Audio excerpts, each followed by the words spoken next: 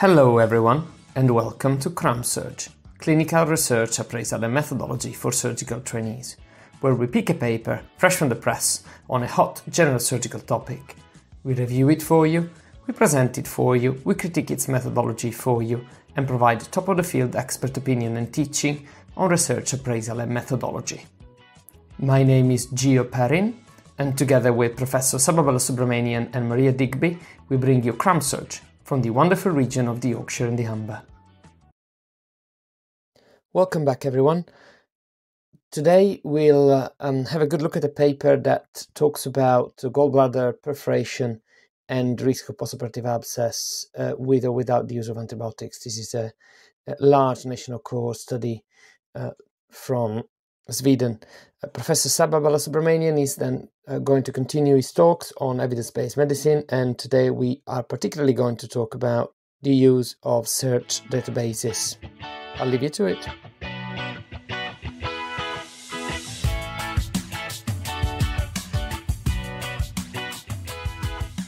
So yeah, I'm Melissa. I'm an ST2 in general surgery currently in Leeds. Um, and uh, Today, we're going to talk to you about a paper that was recently uh, published in the British Journal of Surgery um, this year. Um, and it's titled Intraoperative Gallbladder Perforation and the Risk of Postoperative Abscess with or without antibiotics. And it's a national cohort study of more than 108,000 cholecystectomies. And the link can be found on this page. So over to you for background, Gio. Wonderful. A little bit of background about this um, topic more than the study itself. Uh, we do know that uh, cholecystectomy is performed very commonly in uh, this country. Up to 70,000 of these operations are performed every year. Uh, and biliary disease is a lead cause of um, admission and morbidity and sometimes mortality uh, in uh, the UK population. Um, a variety of studies have been conducted uh, concerning the role of antibiotics in gallbladder surgery. Uh, this applies both to elective situations or um, situations where there is an acutely inflamed gallbladder. And a few previous cohort studies um, with a relatively limited number of patients involved showed no difference in therapeutic versus prophylactic antibiotics use in presence of um, infection in terms of SSIs and particularly intra-abdominal infections. Um, we recently had a fairly big trial coming out, um, the PEANUTS 2 trial, uh, which uh, uh, actually explored the role of prophylactic antibiotics in the presence of um, acute cholecystitis when performing a cholecystectomy, um, failing to demonstrate the non-inferiority of the no prophylactic antibiotic strategy. So we do know that antibiotics do play a role, uh, and there is good evidence out there. Now, this cohort study tries to kind of uh, fit in all of this and provide a, a, bit of additional evidence, particularly in terms of the degree of contamination. Uh, so ball back to Melissa for um, uh, the aims. Yeah, so the aims of the study was to assess whether there was an association between intraoperative gallbladder perforation with or without fully retrieved stones and the risk of post-operative abscess. And they also wanted to know whether antibiotic treatment prevented abscess formation. So trying to fit this into the PICO format, they looked specifically at adults, so those aged above 18 years old in Sweden who had undergone a cholecystectomy. They were particularly interested in looking at gallbladder perforation with or without stone spillage. So the control was no gallbladder perforation. And the outcome, or the primary outcome, was post-operative abscess at day 30.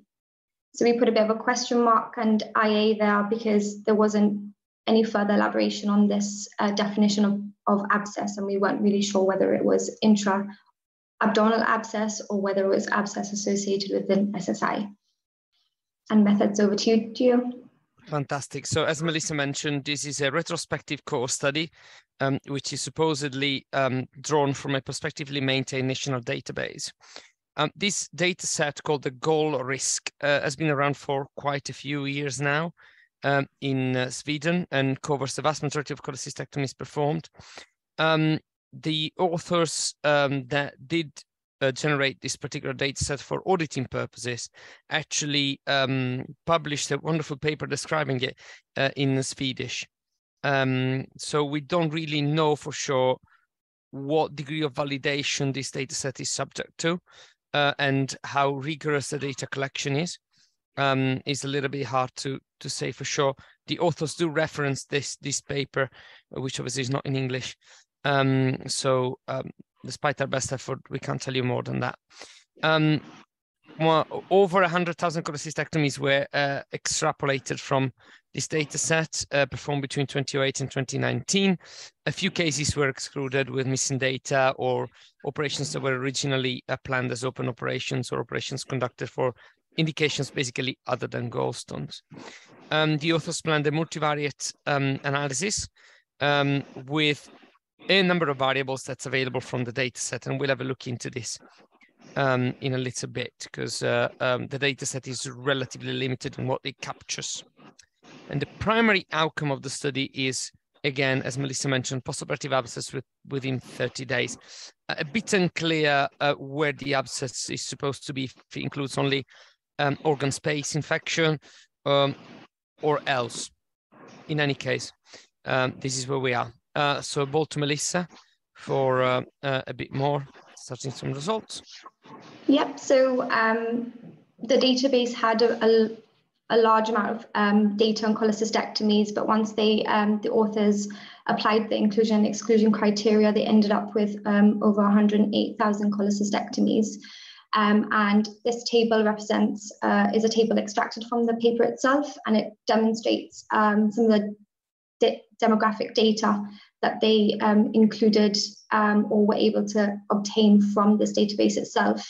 Um, and as you can see, they were able to get information on sex, age, ASA grade, uh, the number of procedures which were performed specifically for acute cholecystitis, the approach, whether it was laparoscopic or open, and the antibiotic treatment. Um, a thing that we noticed was that um, this is quite a limited amount of information, especially when we're looking at um, infection risk or abscess formation. Um, and we thought quite a lot of uh, vital information like um, BMI and diabetes or other comorbidities, which are known to um, increase the risk of uh, postoperative um, infections, were actually not included um, and another thing to point out is the antibiotic definition, which is included in this table. Um, they included no antibiotics. They also included prophylactic antibiotics, antibiotics which, which was defined as antibiotic treatment for less than one day. And then the therapeutic definition was antibiotic treatment for more than one day. But whether that day was pre or post operative, we, we don't know. And then the rest of the results over to you, Gio. Wonderful. So um, the primary outcome, uh, that is to say abscess, happened in um, 1,320 patients, so 2.7% of the overall uh, data set. Um, a perforation of the gallbladder, and that is assumed to be something that happens during the operation. However, it's not specified by the author, so you'd argue it could have happened before the operation and just found that operation. Happened in 33.8% of the cases the authors produced two, basically what I assume are binomial logistic regression models, um, looking at predictors of the development of intra-abdominal abscess. And the first one splits the operations into gallbladder operations without perforation, the other one, gallbladder operation with a perforation. The second model does split operations in operations that involve a perforation with potentially a stone remaining in the abdomen and all the other operations. So perforations and non-perforation in absence of a significant degree of contamination. As you can see, both in both cases, the um, presence of a perforation or contamination does increase the risk of abscess, which is kind of expected, uh, with an odds ratio that is um, statistically significant in both cases, slightly higher in presence of a retained stone.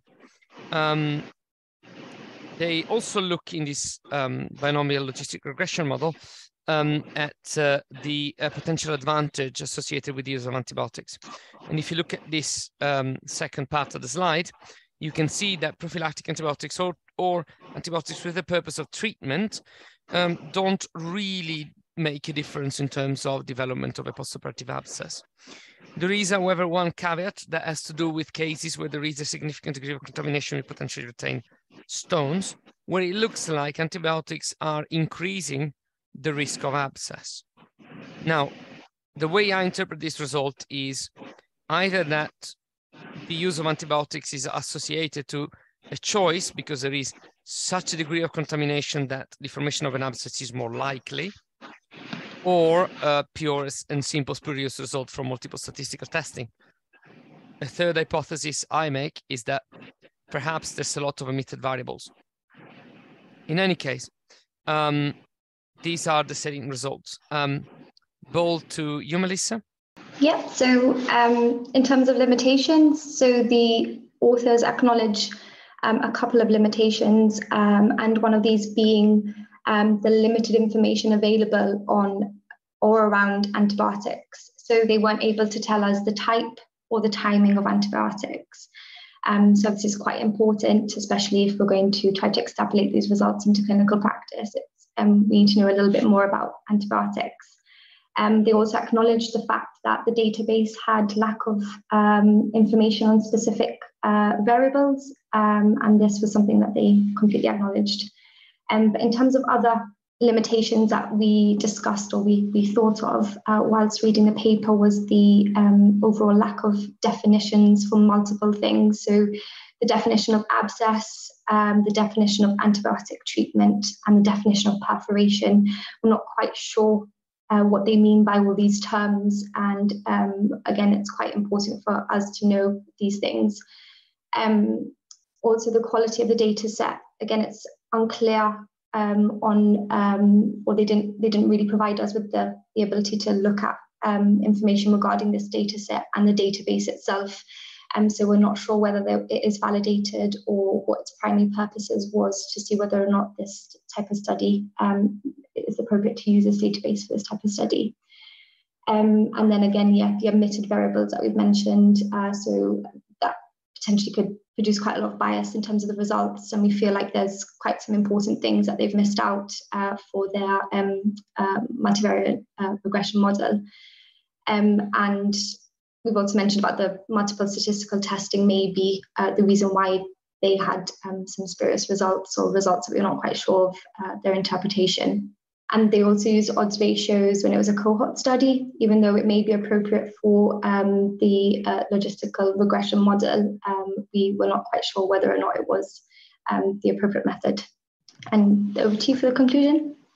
Right. So, based on the results of this study and uh, from data from this data set, we could say that the perforation of the gallbladder it does increase the risk, well, the odds in this particular case, uh, of developing an abscess. And this becomes even more uh, relevant if there is a significant degree of contamination with potential lost stones. In this context, the authors did not find a difference uh, between a prophylactic approach or a therapeutic approach to contamination itself, and neither of them uh, were actually statistically significantly associated with a reduction in the development of um, abscess. And a few points that relate to this uh, particular study, um, we have highlighted them through the presentation. They're reported here in the table, as you can see. So that's us. A brief summary of the discussion we had about the paper. Uh, we did reiterate a good few points uh, that were highlighted during the presentation, particularly the role of selection bias in the context of um, prospective cohort studies. Uh, particularly, this applies in this study um, to the results suggesting that the use of antibiotics in presence of a gallbladder perforation with significant contamination potentially increase the risk of abscess formation. Uh, now, uh, this uh, is obviously not biologically plausible uh, and is likely a result of either selection bias or less likely multiple statistical testing uh, producing a spurious result. Uh, we then talked about potential uh, statistical techniques that can be used to reduce the um, multiple statistical testing issues, such as Bonferroni correction and other techniques. And we discussed their role. Uh, we moved on to then discuss the importance of large um, database studies and large cohort studies in corroborating findings from uh, randomized controlled trials. And we also highlighted how it is risky and potentially misleading to withdraw conclusions concerning a causative effect of a particular intervention in the context of a large cohort study, not designed for this particular type of analysis. I will then leave you to Professor Balasubramanian lecture. Enjoy.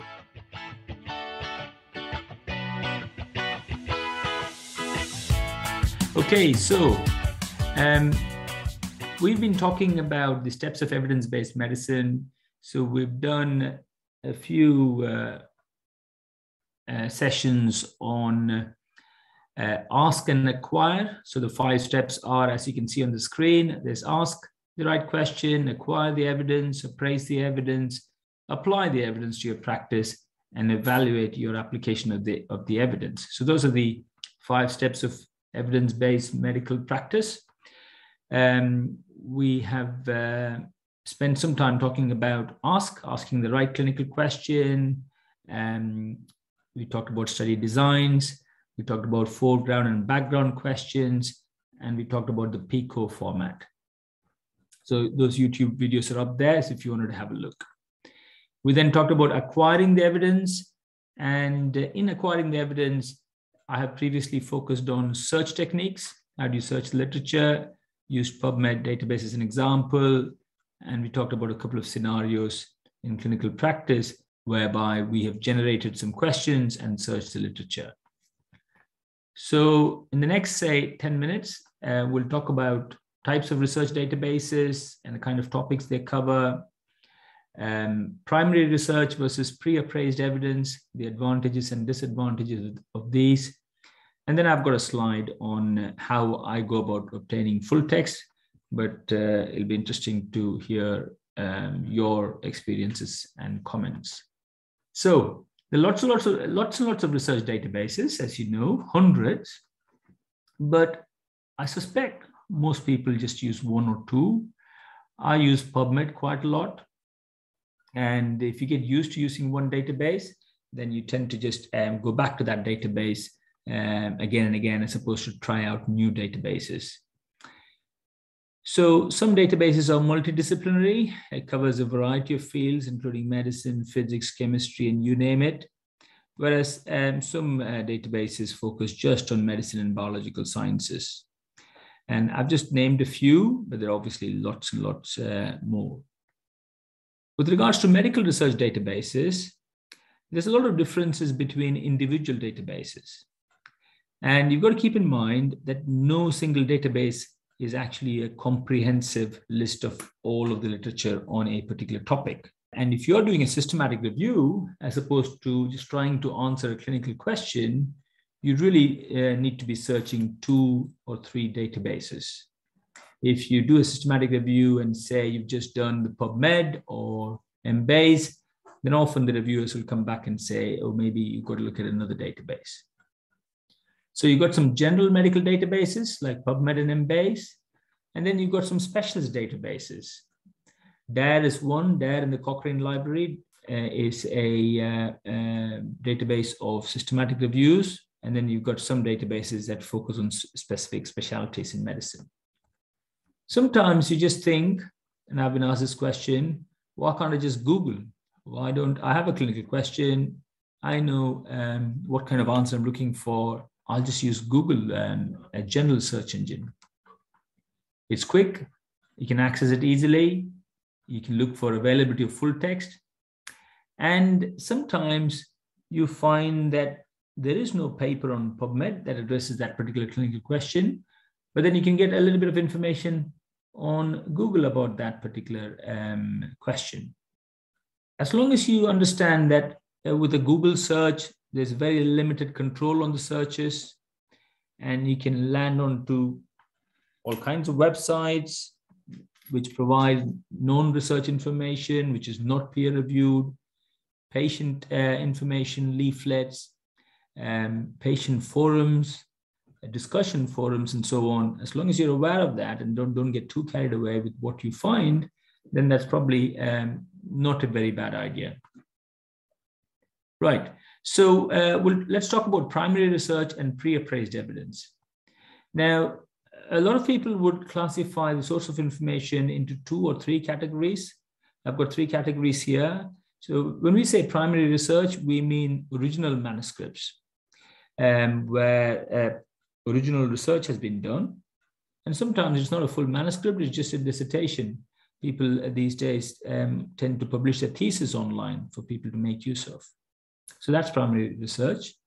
Then you've got secondary um, uh, research, which basically refers to, often refers to a systematic review of meta-analysis, sometimes practice guidelines and standards, which often incorporate a systematic search strategy.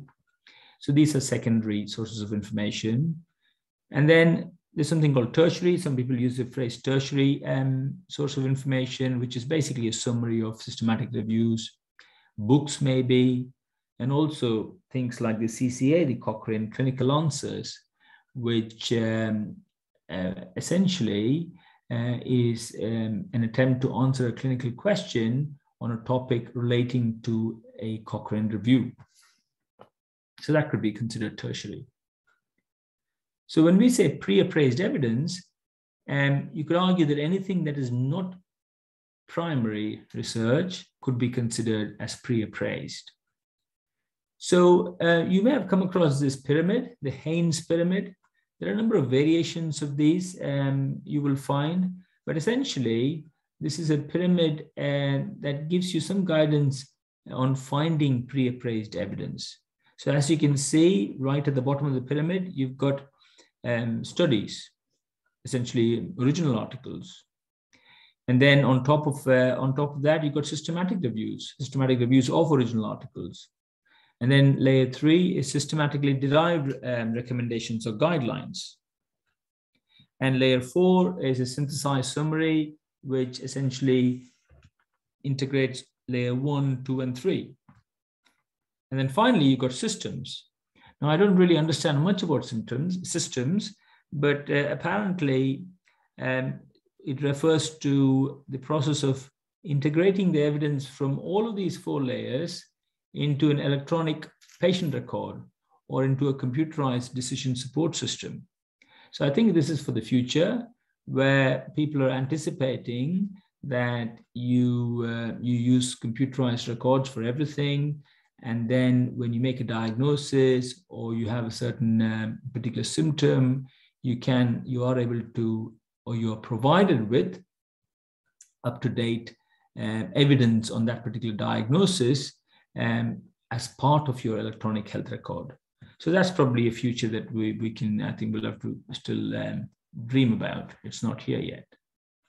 So if you have a clinical question, um, the, the, the next step is, you know, uh, you're searching for evidence and you're thinking, should I use primary research? Should I look up an original article or should I look up some practice guideline? Now, it really depends partly on the kind of clinical question and there's this interesting systematic review published about eight years ago, which looked at a number of different studies uh, looking at uh, clinical questions. And they suggested that uh, clinicians would probably ask one clinical question for every two patients seen, which I thought was quite a large number. And only in half of these, for these questions, do clinicians actually go and search for the answers. And when they search for the answers, they get the answer they want, three fourths of the time. And of the types of questions, about a third relate to drug treatment, and a significant proportion of the rest relate to either a symptom, physical finding, or a diagnostic test. In a more recent paper, this is from PLOS One this year, and researchers asked a number of primary care doctors to note down the clinical questions they might encounter as they go through their uh, consultations. And uh, they, they got a list of about 200 valid clinical questions. And of these, 132 were background questions and only 74 were foreground questions. You probably remember the difference between background questions and foreground questions.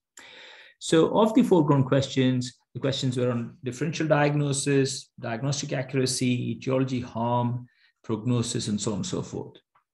Now, I found this uh, quite interesting in that I don't think we'll get similar answers if we survey surgeons.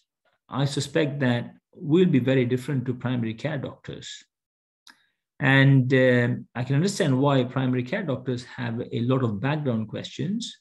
So they might come across a patient with primary hyperparathyroidism or a patient who's probably had treatment for Boerhaave syndrome, and they'd want to know all about that particular disease because they probably wouldn't have encountered a similar patient for a while. But you're not going to have a specialist colorectal surgeon um, who does some specialist pelvic floor clinics to be looking um, for answers to background questions. Does that make sense? Do you, any comments? Um, yeah, I do think it makes sense. And I agree, it has to do with your degree of sub- subspecialization almost. And presumably also your ability to pinpoint your answer. Yeah. Um, and, and identify a source that's adequate to give you the answer you need. So also the answer sought and answer found statistics would change. Yeah. Maybe. Maybe. So yeah, so the question type is really important. You know, if you're going to, if you have a background question and you think I really don't know about this syndrome or this disease, then obviously you're not going to look for original articles. You're going to look at a textbook or you're going to look at, at a review article. Yeah, or uh, you might just read up a practice guideline from NICE on that particular subject. Now, there are lots of other factors as well, and that will influence whether you're looking for a, an original article or pre-appraised evidence. So specialty, like we talked about, whether you're a primary care person or you're a hospital doctor. Degree of specialization as well. Um, you know, uh, are you a general surgeon or are you a pituitary surgeon or a hand surgeon that doesn't do anything else? And um, you a, a specialty, are you in a specialty where it's primarily craft based? And um, so you're not really going to be uh, uh, looking for original articles uh, to that much of an extent as somebody else um, who is probably relatively new to that specialty or that particular uh, kind of working. Clinical experience and knowledge also will influence whether you're going to look at primary research or pre-appraised evidence. If you're extremely experienced uh, in that particular area and you worked in that area for 20 years, uh, you'll be familiar with the guidelines. So often you'll have questions that uh, relate to rare phenotypes, uh, unusual findings that you've never come across before. And then you'll probably be looking for similar case reports or, or original studies. What about appraisal and methodology understanding? So um, if you are not very confident with clinical, uh, critical appraisal, um, then you probably are not uh, going to be too keen on reading an original paper. You'd rather go with um, what the NICE guidance says on that particular topic. And the final thing is time constraints. Apparently, I didn't know this, there's a 90 second rule apparently. And um, most primary care doctors, if they think they can't get an answer within 90 seconds, they'd say, don't bother looking. And maybe refer on to the hospital. So uh, I think there are some advantages in looking at original studies. The advantages are that uh, you, you get to access the original data and then you get to uh, appraise the evidence yourself. And also the big advantage is that it's going to be uh, fairly recent. You're not going to uh, find very recent um, data in pre-appraised evidence. The downside is obviously it'll be time consuming. Uh, we've appraised a primary research paper today. And sometimes it could be expensive depending on uh, how much access you have to um, published original articles. The advantages of pre-appraised evidence are one, it saves you a, a, lot of time. A single systematic review will summarize data from many different studies. And if you want a very broad answer to a question, like for example, I'll give you an example from my areas. Let's say you want to know about central neck dissection in thyroid cancer. And then you could look up NICE guidance, or you could look up a, a systematic review of central neck dissection, and, and you get a lot of information. The downside is if you have a very focused question, um, let's say you want to know about whether to do unilateral or bilateral central neck dissection in a specific subtype of thyroid cancer, let's say Hürthle cell cancer, then you may not necessarily find an, uh, an answer uh, from pre appraised evidence. You might want a specific paper addressing a topic because there is unlikely to be many papers on that topic and there's unlikely to be systematic reviews addressing that specific focus question. The other thing to keep in mind is uh, practice guidelines get out of date, they're not often updated. Um, there is something called the living systematic review. There are efforts being made to uh, constantly update practice guidelines, but that's a huge uh, cumbersome task and we, we're not there yet. The final thing to say is that this is process information. So with process information, you lose granularity and you don't really understand the finer details of, uh, uh, of how the study was done. And uh, also, if you rely too much on practice guidelines and uh, um, evidence that has been processed for you, uh, I think you'll gradually lose critical appraisal techniques that you might have gathered over the years. Finally, access to full text information. So uh, I'd be keen to hear your comments, but how do you get full text? So a lot of the full text uh, papers, you know, these days can be accessed via journal websites. There are many journals that have article processing charges. They charge the authors to publish, and then they put them all online for people to access. So for the readers, it's free, but the authors pay uh, um, a lot of money. And then there's some um, websites like PMC, PubMed Central, like ResearchGate that often provide free access as well, in addition to the journal websites. Another um, thing to do is to ask your um, hospital librarian or your university librarian and uh, to get some papers. And if it's just a couple of papers, then most of the time they'll, they'll uh, oblige. Uh, obviously, if you're doing a systematic review and need 150 full text manuscripts, then you might have a problem.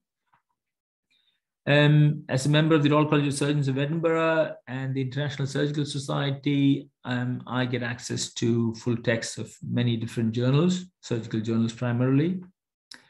Sometimes, on occasion, I have emailed authors. If I find some really interesting paper that I can't get access to, I find the authors, uh, do a bit of Google search on them, get their email ID, and send them an email and very often they'll oblige if you if you send them a polite email saying you're really interested in that paper.